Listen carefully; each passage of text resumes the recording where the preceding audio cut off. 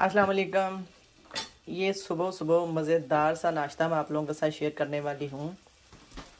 मैंने आलू एंड कीमे वाली जो है ना, वो टिक्की बनाई है और ब्रेड की शेप की ही बनाई है। और ये है एग। और मैं सैंडविच भी जो है ना, वो आप लोगों को दिखा देती हूँ बना के।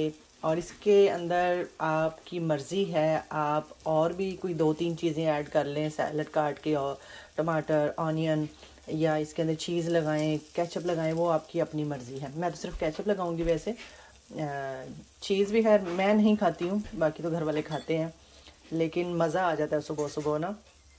किसी वक्त आप लोगों के साथ ये वाली शेयर भी करूँगी रेसिपी लेकिन टाइम ज़रा शॉर्ट था, लेकिन मुझे लेट ही याद आया तो मैंने कहा ऐसे ही आप लोगों के साथ शेयर करती हूँ कि आज मैं क्या खाने वाली हूँ, क्या खा रही हूँ।